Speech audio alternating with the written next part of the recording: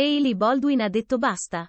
La moglie di Justin Bieber, che di recente ha dovuto fare i conti con qualche problema di salute, si è scagliata contro i fan di Selena Gomez.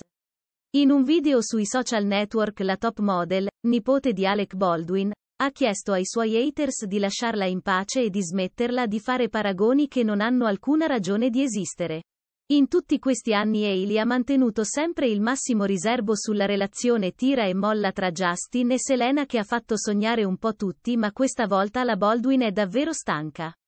Stanca dei giudizi inesistenti, dei parallelismi e dei confronti senza senso. Su TikTok la modella ha pregato i sostenitori di Selena Gomez e i suoi odiatori, in generale di lasciarla stare e di smetterla di commentare negativamente ogni suo post social.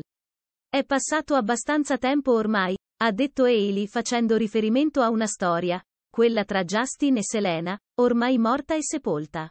Mi faccio gli affari miei, non faccio niente, non dico niente. Lasciatemi in pace, per favore, ha aggiunto la signora Bieber. Poi ha concluso. Vi supplico, davvero. È la mia unica richiesta. Siate infelici da qualche altra parte per fa- Justin Bieber e Selena Gomez hanno iniziato a frequentarsi nel 2010, la loro relazione è durata a fasi alterne fino al 2018.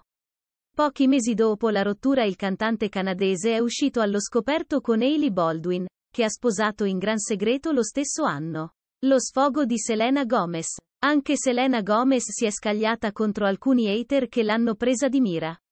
L'ex stellina Disney ha precisato di sentirsi perfetta così, senza badare troppo al suo peso.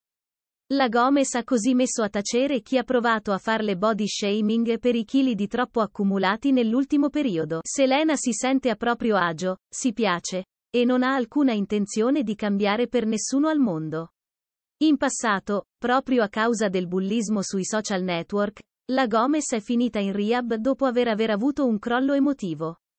Il peso della popstar oscilla pure per colpa della sua malattia, il lupus, che la porta costantemente a dover fare i conti con attacchi di panico e depressione.